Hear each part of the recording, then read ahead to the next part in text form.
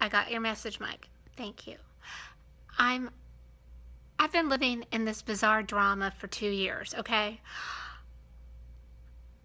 I just want to see the good guys win. We've got to just expose this clique. I mean, you emailed me, go get them, and you told me that you were scared if anything happened to you. And you know about Seth Rich.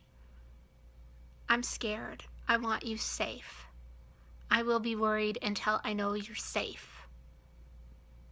This isn't because I want to date you, it's because you're a human being that I care about. I'd like to date you, but if it doesn't work out, it's okay. Because life isn't fair. I've learned that.